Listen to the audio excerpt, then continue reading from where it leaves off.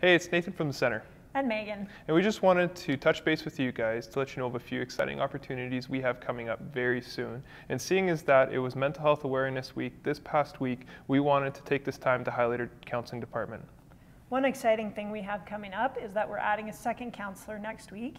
Jim McGee will be joining me in the counseling department to uh, add some extra support in counseling for those of you who need it.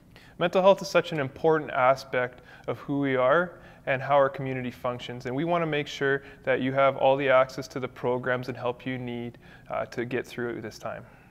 So Jim and I will be adding some extra programs.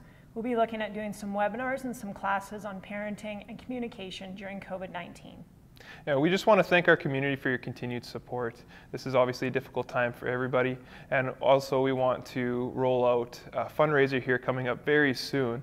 In partnership with Golden West Radio here in our community, we're doing an online auction, an online dessert auction, so that we can continue to raise funds for our counseling department so we can roll out these programs for free.